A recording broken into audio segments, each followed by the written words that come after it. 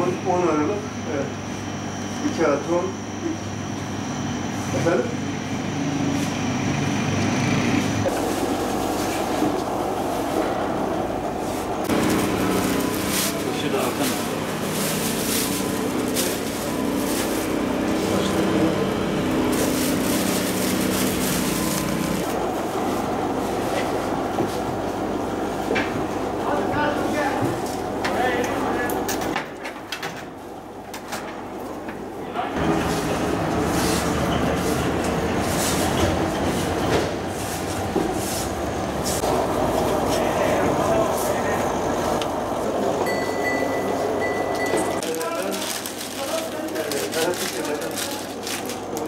Bu pandemi döneminde e, bizim işlerimizi yüzde 80-85 olumsuz yönde etkilemektedir.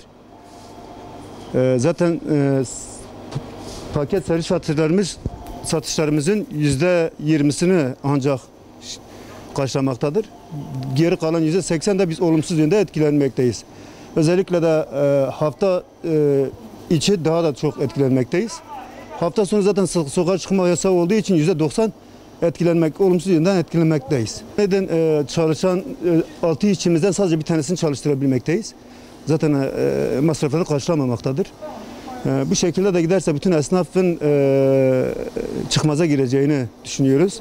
Ve bu iş böyle devam etmez. E, Yetkilerden e, bize destek olmalarını istiyoruz. Özellikle kira, e, vergi, elektrik şeyleri ertelense, e, borçları ertelense güzel olur.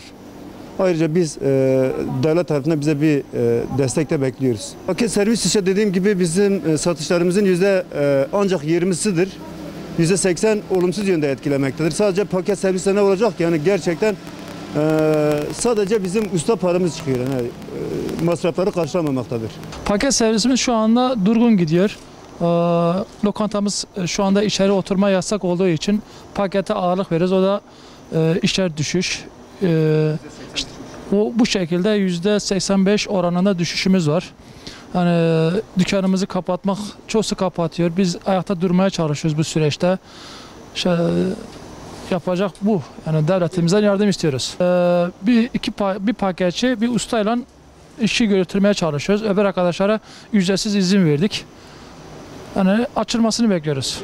Devletimizden bu yana vergilerin düşürülmesini, bu süreçte yardım etmesini bekliyoruz. Kiralardan yardım etmesini istiyoruz. İşte devletimizden bilgi almak istiyoruz veya yardım etmelerini istiyoruz.